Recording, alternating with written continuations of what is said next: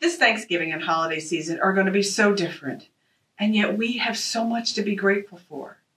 Our direct support professionals who are working on the front line day in and day out, you are literally saving people's lives. Thank you. For the people that we support, for your bravery, your resilience, you are inspiring us to do what we need to do.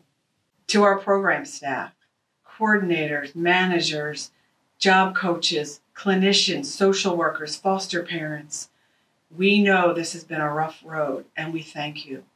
For our directors and senior managers who have gone above and beyond day in and day out, thank you. For the people we support who are working in our contracts in community employment, we are so proud that employers are recognizing what we've known all along that you are essential to our communities. Thank you for keeping us safe. For our finance, operations, IT, maintenance, development staff, thank you for keeping our doors open and for keeping us connected to each other.